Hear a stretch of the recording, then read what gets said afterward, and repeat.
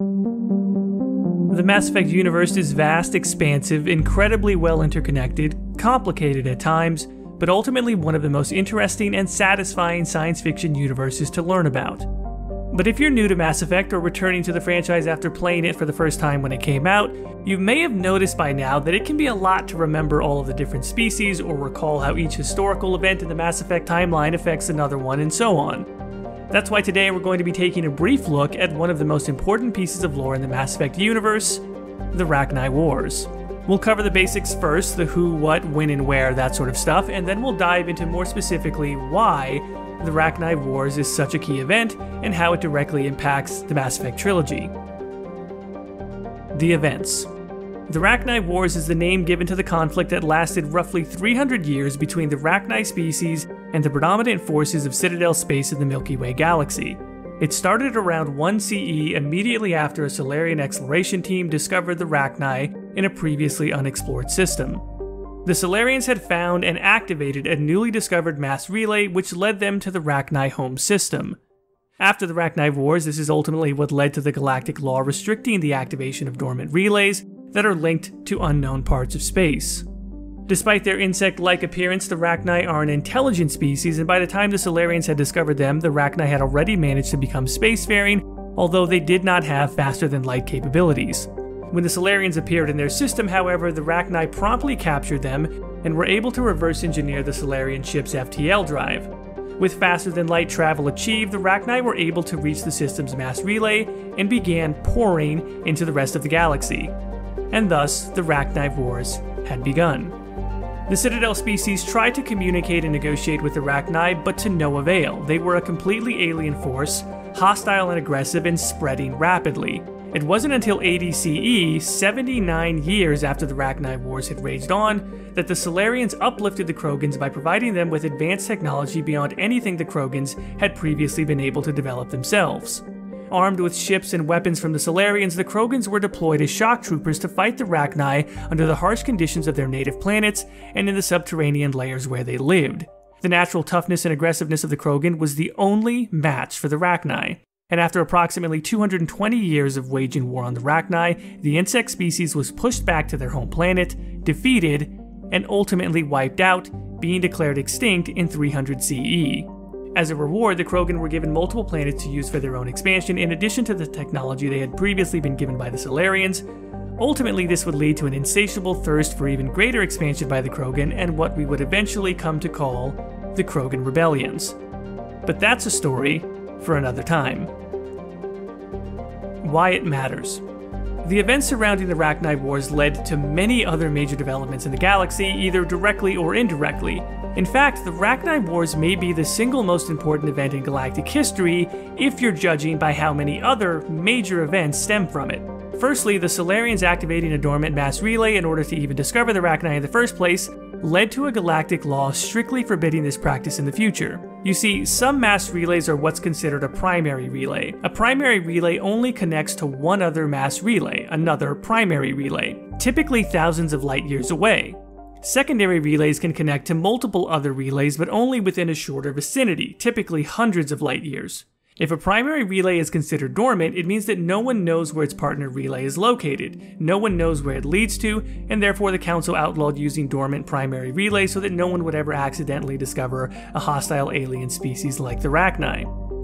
But because of this law, when humanity first made its way into Citadel space in 2149 after having discovered the mass relay in our own solar system, early human explorers began activating any relay they could find not yet fully understanding how relays work. When the Turians encountered human ships doing this, they found those Alliance vessels to be in violation of galactic law and attempted to intercept them.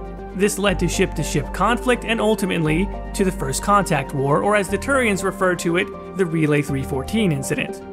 Secondly, and most notably, the Rachni Wars led to the Krogan rebellions, as we just mentioned. Instead of being satisfied with the rewards they were given for helping defeat the Rachni, the Krogan figured that they were the strongest force in the galaxy, and that they should just take what they want by force, since this is normal in their custom. The Turians were enlisted as the primary military force to combat the Krogans, which led to heavy losses on both sides. This ultimately led to the third major ripple from the Rachni Wars, which was the Salarians developing the genophage, the genetic virus that severely reduced Krogan fertility, leading to a drastic drop in their overall numbers over a term of years. This drop in population finally gave the Turians an opportunity to win the conflict and subdue the Krogan, but the damage done from the genophage was seemingly permanent and the Krogan's history would be forever altered because of this. The Turians, for their part in fighting the Krogan, were given a seat on the Citadel Council, joining the founding members, the Asari and the Salarians, to make up the Citadel Council representation that we see at the start of Mass Effect 1. The Turians gaining a seat on the Council makes at least the fourth major historical event that happened as a result of the Rachni Wars. The First Contact War and the Krogan Rebellions are some of the most important events in the Mass Effect universe because they largely define how humanity and Krogans are viewed, at least at the start of Mass Effect 1. And arguably, these major events never would have happened were it not for the events surrounding the Rachni Wars. The Turians being on the Council, mistrust of humans, Krogan ostracization, and the state of Krogan biology after the Genophage are all reasons why I think the Rachni Wars were so crucial. Thematic meaning the Rachni are definitely viewed as monsters by most of the galaxy, at least at a glance and early on, and you may think that that's an appropriate categorization, but through the events of Mass Effect 1, 2, and 3, we begin to see that there's more to the Rachni than just aggression and territorialism. The Rachni were always explained as being an intelligent species, capable of developing their own technology and even achieving basic space travel. They were never described as truly unthinking, savage monsters, but more so that something about their nature was so aggressive and territorial that the net effect of their behavior was essentially indistinguishable from monsters, especially if effective means of communication could never be established. But in Mass Effect 1, the Rachni Queen manages an effective means of communication, and rather easily. So, why did the Rachni Wars happen? Why didn't the Rachni communicate telepathically with the Asari back then? Well, in Mass Effect 2, there's a clue given. An Asari on Ilium representing the Rachni Queen, that is, if you let her live, in ME1, will tell you that something affected the Rachni ancestors. She says that what the Rachni Queen has told her is hard to translate from Rachni language, but that it was akin to mind control. She also mentions that the Rachni Queen believes that Shepard is fighting against the ones who did this to her people, leading Shepard and many players to believe that she means the Reapers. This makes a little more sense when you consider what the Rachni Queen said herself back in ME1. She says that, quote, a tone from space hushed one voice after another. It forced the singers to resonate with its own sour yellow note. End quote. We have to keep in mind here that the Rachni communicate through something like telepathic song, and that something like color often denotes intonation or emotion. After learning about the Reapers and indoctrination, this statement from the Rachni Queen certainly seems like that's what it could be describing. The Reapers are known for their indoctrination ability, and we also know that they always leave an emissary in the galaxy, even when they're not actively enacting their cycle of harvesting. So this is at least plausible, if not likely. But in the Mass Effect 3 DLC Leviathan, we get yet another theory. Dr. Garrett Bryson speculates that it was actually the Leviathan, the ancient race that became the basis for the first Reapers, who were mind controlling the Rachni. The Leviathan also have mind control abilities, and Bryson believes that they were trying to build up an army of obedient thralls in order to fight the Reapers.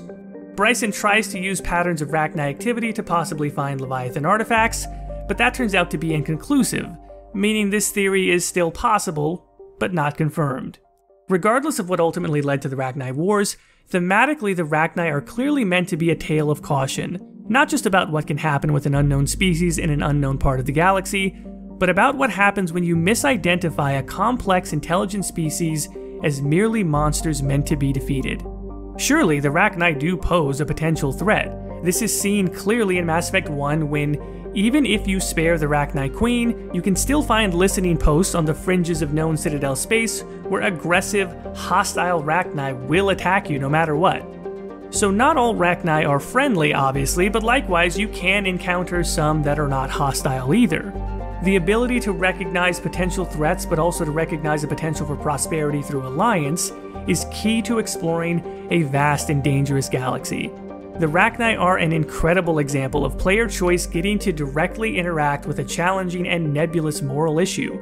The thematic significance of the Rachni really needs more time to be explored fully, but if you'd like to hear more about it, you can watch my video, The Essential Truth of Mass Effect, where I talk more about this in depth during the Noveria section of that video.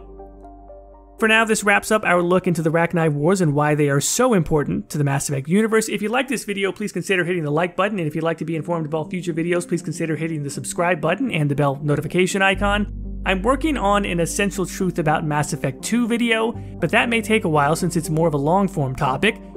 I am also working on some shorter videos, like I don't know, maybe one of them will be called Why Mass Effect 2 is So Overrated. I know, I know, bear with me, at least let me make the video before you judge me for it. but um, we've got I've got more stuff coming out, so hopefully you will stick around for all of that. As always, thanks for watching, and thank you for listening.